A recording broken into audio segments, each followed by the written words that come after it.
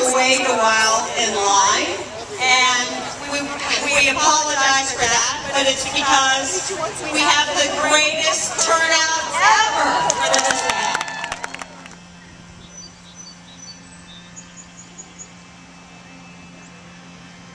And gently lifting that intention for love, for yourself, for your body, mind, and spirit, up to the sky as you release it and let go.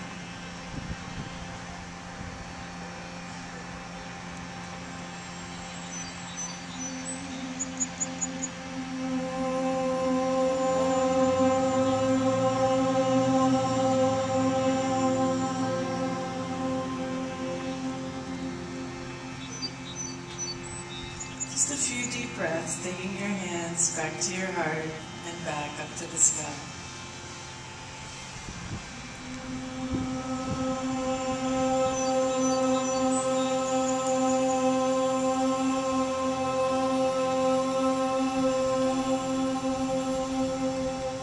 out of today.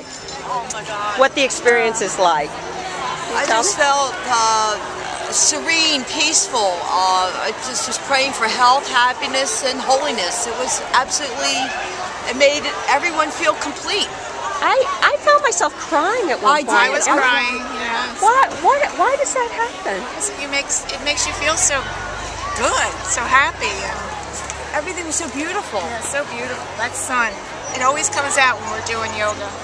Except Why? last year. Why is that? Why does it come out while you're doing yoga? I think it's all of our energy that does it. Together? kind of? Together, yes. Yeah. And the love that she kept talking about, that love repre- replacing everything, to have love. Yeah. The Connecting of the body, the mind, and the spirit. I think that you don't always feel that when you're just doing yoga by yourself, but when you're doing it with a group of people, you're really connecting, and um, that that spirit just really soared. You feel like Really you soared. do have a real energy. Yeah. I feel source. like my heart is just so open, and to be able to share that with so many other people.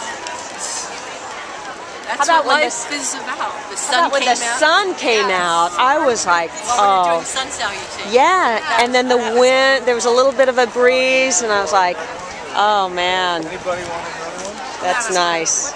Thank you.